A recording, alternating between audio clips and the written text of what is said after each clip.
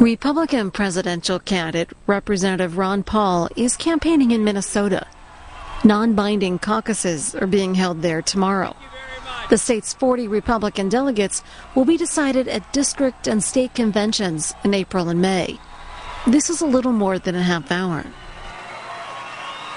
Thank you very much. Thank you, thank you.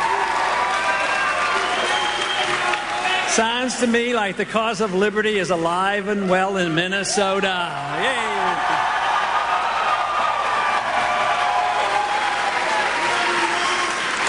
You know, they have a lot of bright lights here. I can't see you real well, but I do hear you. That's great. And somewhere down front, one side or the other, my wife Carol is with me, wife of 30, 55 years, right here. And uh, we have one of our 18 grandchildren with us. Uh, Linda is with us tonight.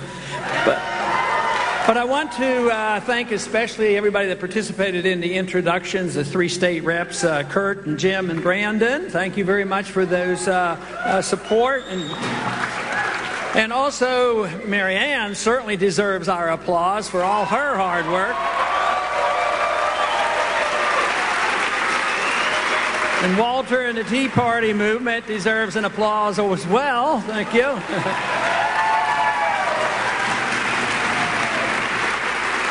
But most of all, you all deserve the applause because you're very interested in doing something very important. And that is change this country, go back to our roots, decide that we want to live in a free country and not in a country rapidly drifting toward totalitarianism. We need to reverse the course.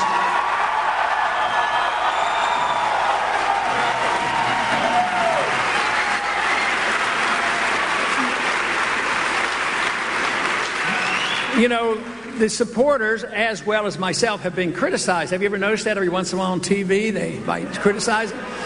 But but the one that I get the biggest chuckle out is they call us dangerous. of course we're dangerous. We're dangerous to the status quo and the people have been ripping us off and living off everybody else.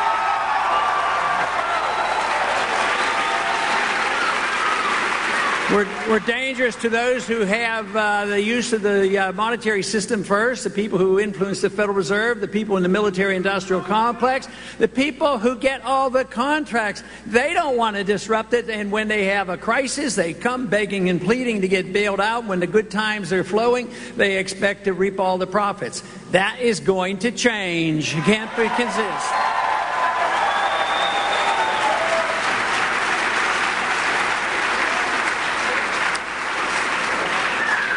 If we had to summarize it into one word on what we must do and, and what is the important issue, to me, the important issue is liberty. If, if we look at all our political action, the political action should be to protect liberty. And we did a pretty good job on this for a while. But I would say in the last hundred years, things have been slipping. Now, I like to go after the president. I don't do it as much as some others because I see this as a big problem that's been lasting a long time. But if you're looking for things to criticize, it wouldn't be very hard to criticize the president. He wants to give you total socialized Obamacare, which we don't need and is way too expensive. But, but also the promises made by both parties over the years, whether it was the promises of a humble foreign policy in the year 2000 or the promises made by the current president, Unfortunately, we continue to do the same thing regardless of the election. They keep the same foreign policy, the same monetary policy, the same entitlement system, the same deficits. We need to clean house and say we want a renewal of the spirit of what made this country great, and that means emphasizing your personal liberties.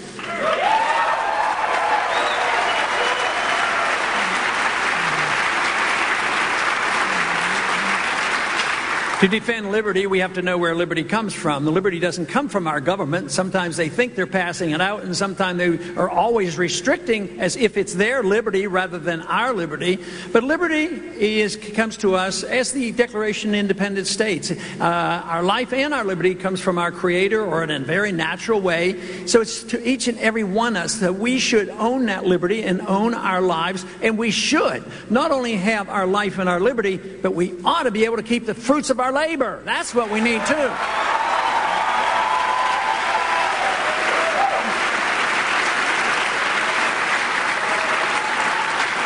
Now, one, one reason why the income tax is so detrimental, it's based on the assumption that the government owns everything and they allow us to keep a certain percentage under their conditions. So it's a sellout in the sense of, of liberty. So that's been around, of course, officially since 1913. So when true liberty comes to this country, once again, government will be much smaller. We will not be the policemen of the world. We will not have the runaway entitlements.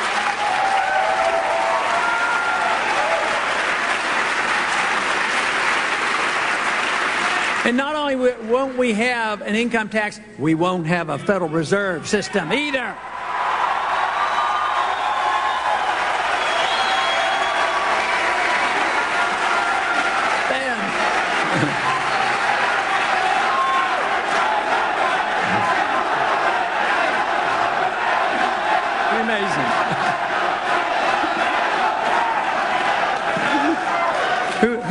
Ever dreamed 10 years ago that we would have the attention of the Federal Reserve like we have today?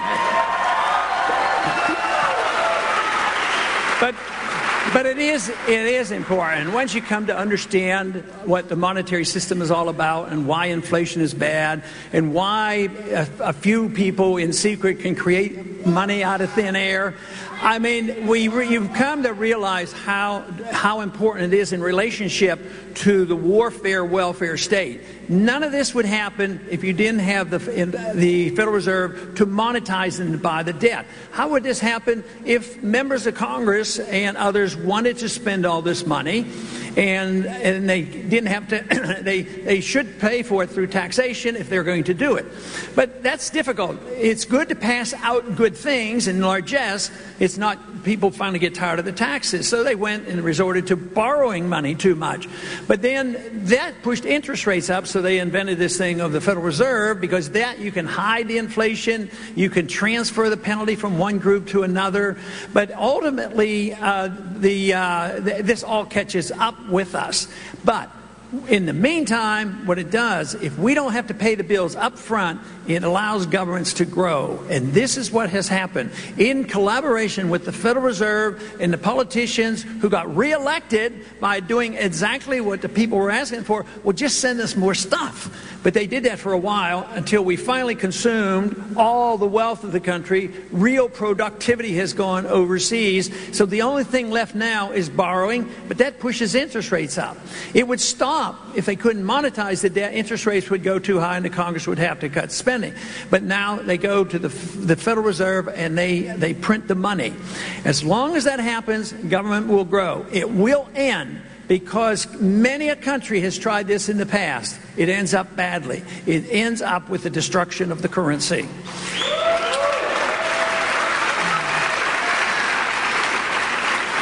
The one characteristic of the destruction of currency, depreciation of currency, is that the middle class shrinks and the wealthy class gets wealthier.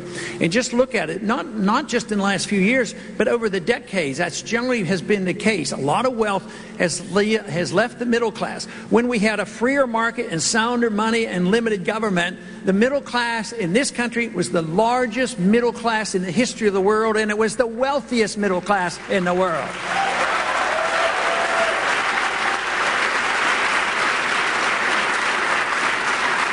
I think we lost the moral high ground many years ago, probably a little bit before the Depression or from the progressive era.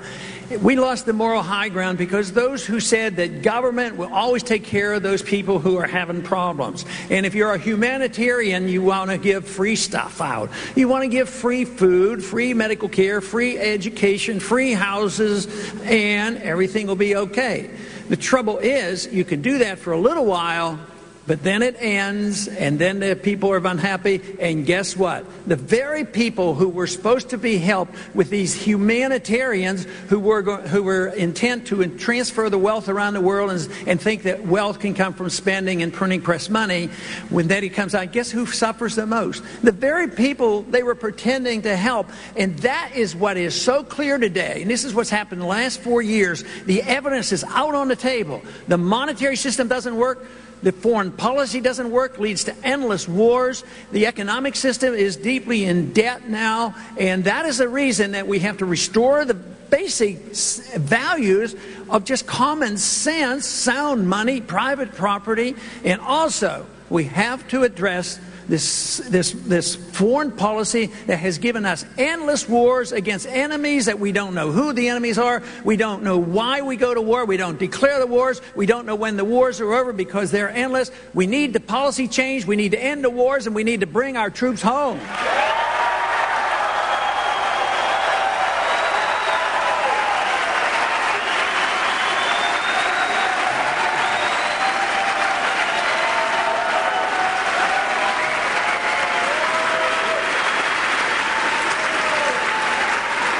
The message, the message of liberty has been around a long time. We talked a little bit about it four years ago, and a lot of people joined the effort in the last four years, a lot more.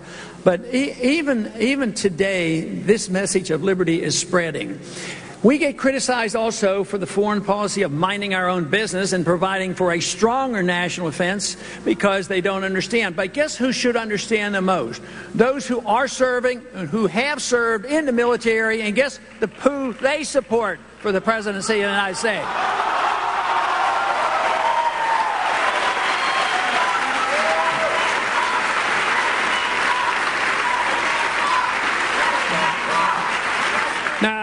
Most people know that I've served in the military. I was in the military for five years.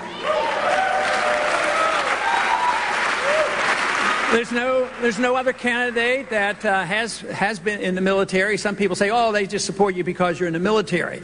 That's partial, but I don't think that's the whole thing. I think it's the foreign policy and the concern and the commitment that I would never send troops into a war that is not declared, know exactly who the enemy is, fight it, win it, and get it over with and come home.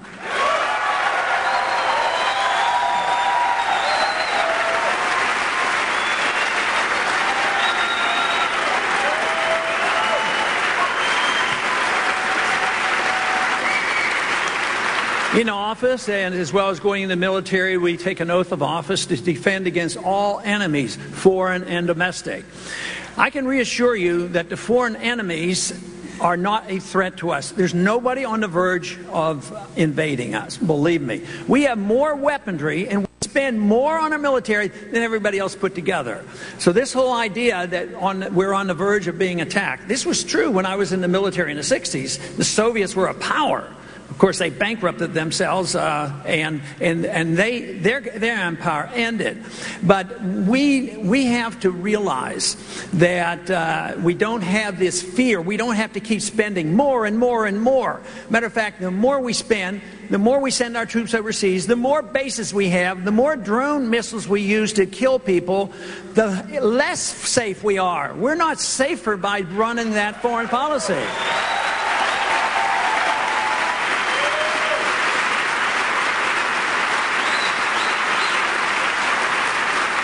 Not only do I believe it's a detriment to our national security, I believe it is a major part of the devastating budget deficit we have. We've spent $4 trillion that was put into our debt in the last 10 years with our overseas commitments.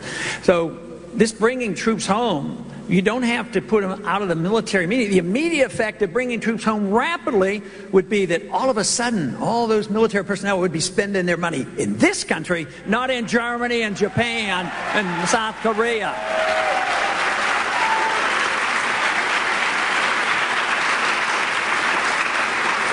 Under conditions of war, whether it's a war overseas or a war against the American people in a war that they call the war on drugs, uh,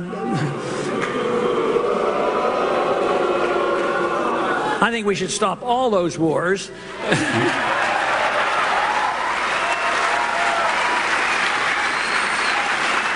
It's actually it's actually a war on our on our civil liberties, and uh, we we have seen this systematically, especially since 9/11. 9/11 was a serious, serious matter. I voted to whatever we can to go after those individuals responsible. I was discouraged rather rapidly after 9/11 because they used it as an excuse to do something they had been planning on doing for six years. And my first speech against the Iraqi war was in 1998 because it was clearly evident to me that they were going to do that.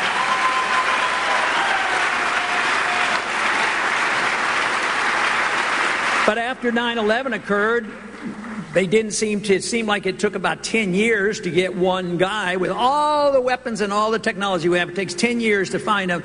But what did we do? We went into, into Iraq, we went into nation building, and inv- invaded these various countries. You know, if you add up the, the contractors, we've, we've lost close to 9,000 Americans in this period of time, 44,000 severe injuries. We have hundreds of thousands of veterans today begging and pleading for help. We have an epidemic of suicide of people who have come home from, uh, from Iraq and Iran. So th- it is very, very high cost, and obviously it would be much better if we had not gotten involved. But in the other area, at home, the real enemy right now, in, in my estimation, because I do believe we have a powerful, efficient, military, so I don't believe we have to worry about it. But I do believe in the second half of our oath of office that we have to defend against all enemies, foreign and domestic.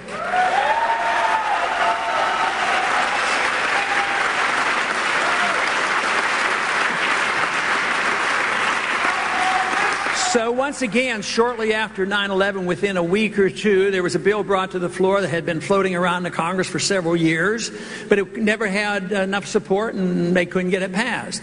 But on after 9 11, they said, now is the time that we'll pass this wonderful bill that's going to protect the people the Patriot Act. The Patriot Act is very, very unpatriotic, if you want to know.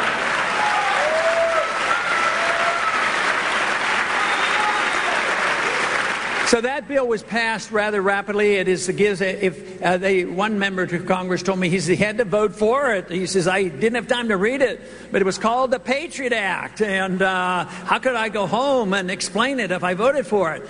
I tried to explain to him that was his job. He was supposed to go home and explain why he voted the right way. So,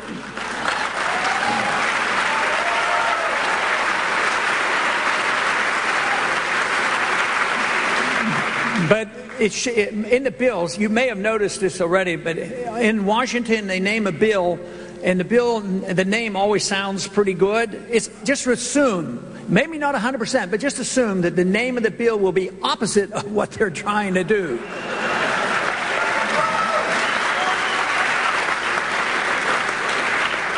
But if they had called that repeal the Fourth Amendment Act, maybe it wouldn't have passed so easily.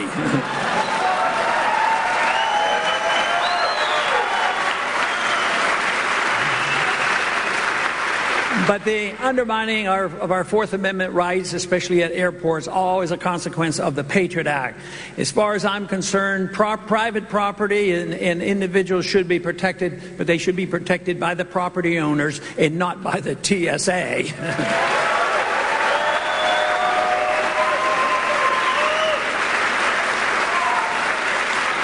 But I think if we allow it to stand and look at the pictures we've seen on televisions and newspaper of the poking and the prodding of little children to elderly women in wheelchairs and, and making us think that we're safer because of this, it, it is impossible. I think it's to it's I think it's there to intimidate us and make us compliant and listen to the government. This is what happens when you move from freedom to a tyrannical state. They want you to obey the government instead of obeying your own hearts and your own mind, your own property.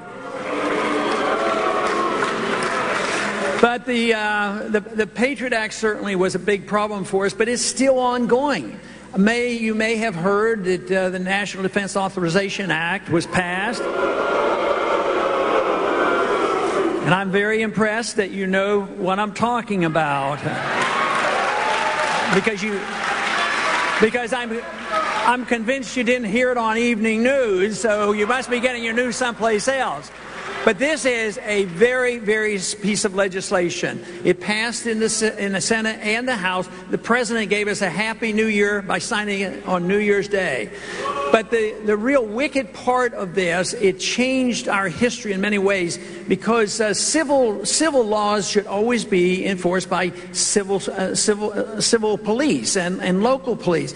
But now it is it is institutionalized, it is uh, codified. It says the military now can arrest any American citizen put under arrest, no lawyer, no charges, no trial, can be put in prison indefinitely. Now, this this needs, this needs to be changed. We will not be living in a free society in a republic because, the, because it will be used. They don't write these laws not to use them. One year ago, one year ago, the president announced, he had uh, somebody come to the Senate, and he came and announced, he says, Well, it is now the policy of the United States that we can assassinate American citizens. I mean, where, where does he get this power? Where does he get this power? Where does he think he gets the power? But we cannot, we cannot let this stand. But to prove his point from his side, he's already used it. He's used it three times. He picked a, he picked a guy that he decided was a bad guy. He may well have been a bad guy. His name is al-Awlaki. He doesn't live here. He's an American citizen. He was in Yemen. But he wasn't charged. He wasn't tried. He wasn't arrested. But he, he was assassinated because he was associating with bad people. But he was never convicted or even accused of a crime. So they get him. They, they kill him, and nobody's going to worry too much. But the next week, they decided that he had a relative that was an ally of his, so they said, We need to kill him too. So they went over and they dropped another, uh, another drone missile on him, and they killed his son. It turns out, though, his son was 16. He was barbecuing out in the, out in the backyard. This is not what America is supposed to be about. It's supposed to be about the rule of law, and we all are supposed to be protected.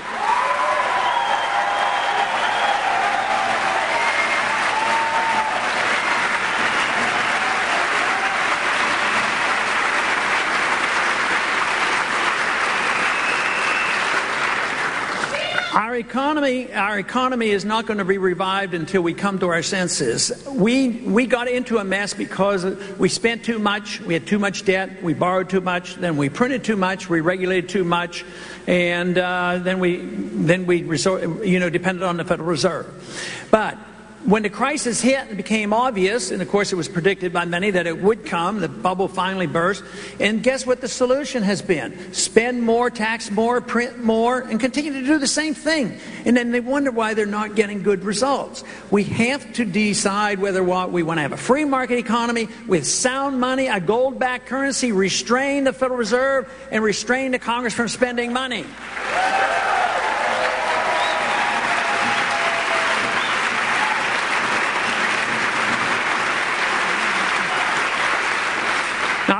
You know, cut the budget by a trillion dollars and uh,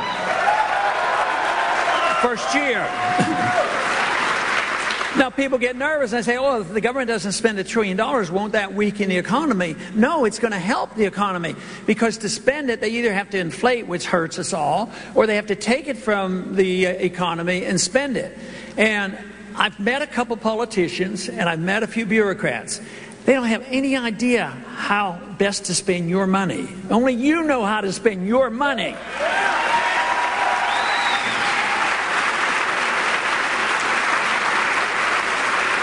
But we, we have to ask a couple of basic questions. The first basic question what should the role of government be? Should the role of government be there to run the entitlement system?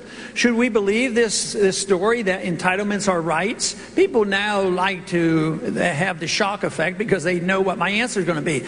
Do people have a right to medical care? Do they have a right to a food, a right to a house? And I say, no, they don't. They have a right to their life they have a right to their liberty. If they had a right to keep their property, then they would be able to afford it. When government does it, they end up not getting anything.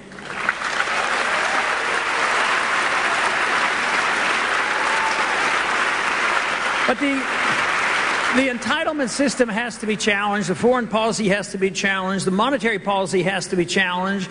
And quite frankly, the others aren't doing that. They're, it's all the status quo. Whether both parties, yes, they sound different, but the goal of most people that I've ever met has been more power. The arguments are real between conservatives and liberals and Republicans and Democrats, but it's all over power. It isn't over whether what kind of government we want. The founders knew this. They had a revolution and wrote a, wrote a constitution, and they wanted the government to be very restrained. I believe that most of the reason why we're in this mess now has been because we have failed to follow the Constitution. And I believe we could get out of this mess if we sent only individuals to Washington that would take their oath of office seriously and obey the Constitution.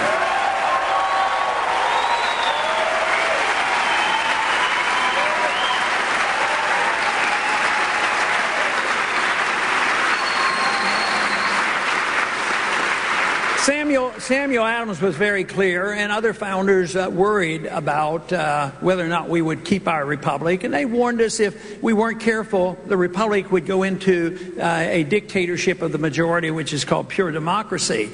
And that means that 51 percent if they go along with it, they can take away the rights of the minority. And if you look at the Patriot Act and the uh, National Defense Authorization Act, that's exactly what's happening. And if the majority endorses that, then the minority is, uh, is, is undermined. But uh, uh Samuel Adams said that it, when you get worried about not having enough, that today we don't have 51% of the people right now that endorse everything that we say. But the truth is, you don't have to, but you have to have leadership. You have to have people in the right places. 51% of the people of this state will not be voting tomorrow. You will be voting, and you have more clout than those who don't vote.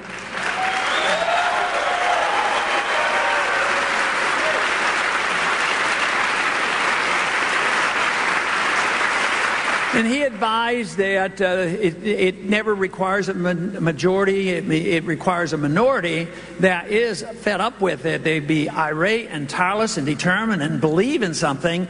And their goal should be to continue to uh, light brush fires of liberty in the hearts and minds of men.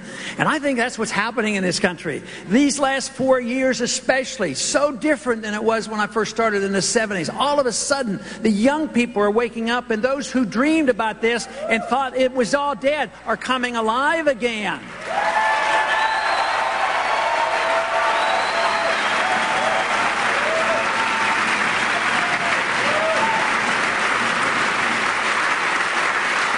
And it's been said that you should never doubt that a small group of people who have firm convictions can change the world. You never doubt it because that's the only way it's ever happened before. Both both in the negative and the positive. I'm sure when the uh, communists took over the Soviets, they didn't have a vote, and the large majority said, Oh, we all want communism. No, it's a determined group. The most important thing is that the determined minority has to have the right viewpoints.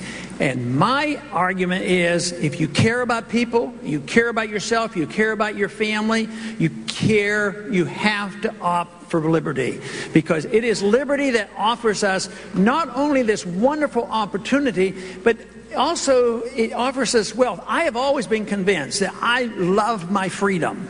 And I've, I've had that desire that I'm sure all of us have had. I love my freedom. I would be willing to give up wealth if I could have my freedom.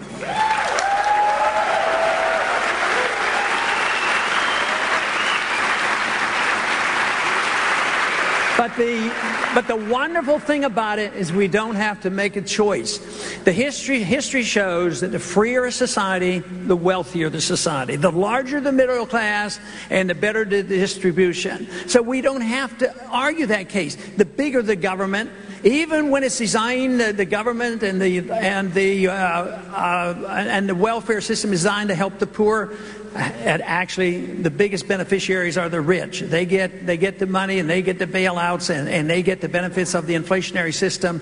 So we should not lose this argument. For a while, when we were consuming wealth, it was more difficult because everybody was sort of getting stuff. And, but most people now know that there's something seriously wrong with Social Security Security. All these programs are bankrupt, and we don't cut anything. We still think we have another war to win. Today, they're talking about what we're going to. We're upset because the world hasn't joined us in going to war in Syria.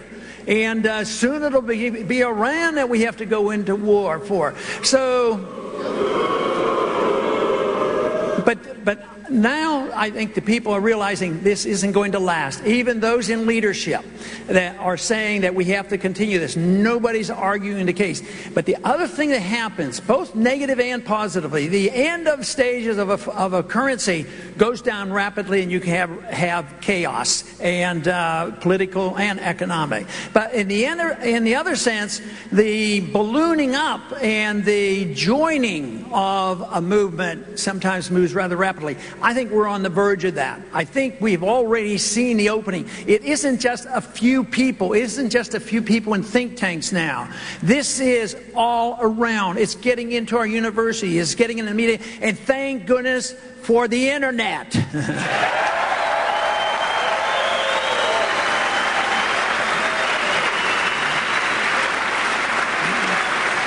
That is why and the, talking about the internet is a good example of a success that so many of you participated in. The uh, Stop Online Piracy Act was stopped because of you.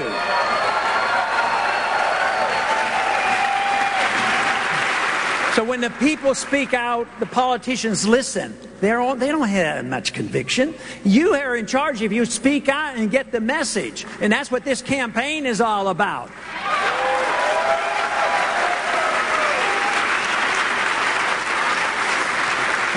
But there's every reason to look at this optimistically because more people are discovering what's happening. The young people are coming alive, and those who have been waiting for this are willing to join. I had an interviewer the other day, and I complimented on him, which is rather rare. he said that uh, you know the young people come out to your functions, and there's a lot, and they get real excited. But he said in the last six months, he says I've noticed that there are more than just the young people coming out. And I said yes, that's because we're all thinking very young these these days.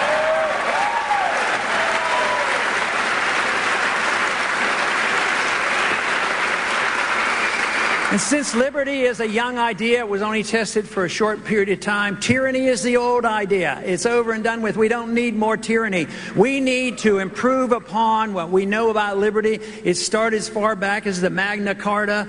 We don't want our government even undermining the principles of the Magna Carta, and we're not going to let them do that. What we're going to do is continue this movement to wake the country up, change our government, and continue to win elections. Thank you very much. Thank you.